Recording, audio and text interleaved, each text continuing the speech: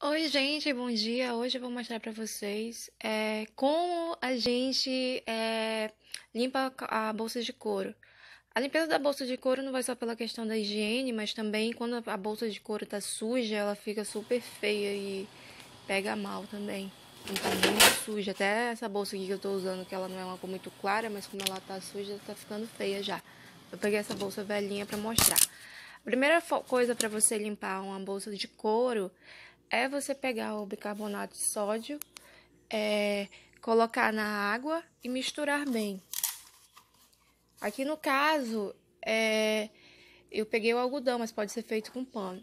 Então você pega o a mistura, né, a solução do bicarbonato de sódio com água, mistura bem e molha um pouquinho, né, no caso aqui eu vou usar algodão, mas pode ser no pano, e passa bem e observei que tem que limpar bastante, várias vezes quando a bolsa está muito suja.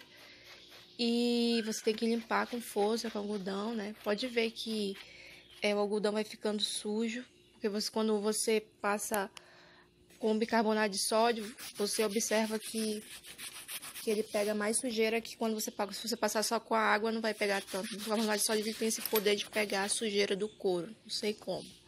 Aí você limpa a bolsa e ela fica mais limpa e mais bonita e, e e até fica com uma cara mais, mais nova, é até uma forma de, de manutenção da, da bolsa. Então, pode ver como ficou limpa. E é isso aí, essa foi a dica de hoje. Assina, é, se você gostou, se inscreve.